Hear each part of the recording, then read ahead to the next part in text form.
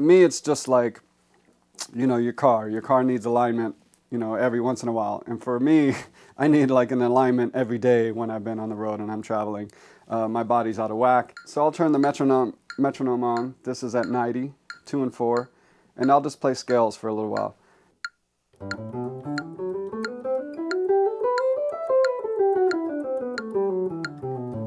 This is just a pattern that I, I kind of like. So that's it. So root, fifth, ninth, and going to the next octave, third, seventh, root, third. So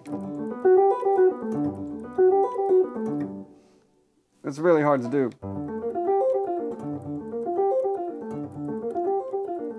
So I wanted to give you guys some ways that you can practice sweep picking. Just to go straight up and come straight back down in time is really hard. It's, some of it is, has to do with the position. And this is, I'm picking this position because it's harder.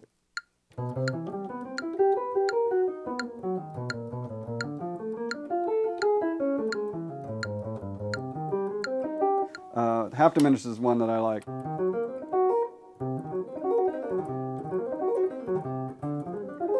And I just go up to the seventh because it's, um, it's easier to wrap it around.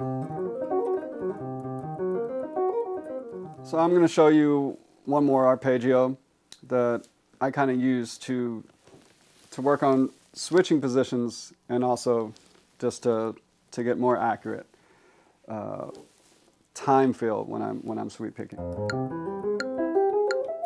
And that's kind of practicing jumping frets and you can finish it it's something that's kind of physically, obviously, it's physically hard to play, but it, it, it, perfectly kind of explains a lot of how I'm thinking about moving up the neck and using sweep picking with arpeggios.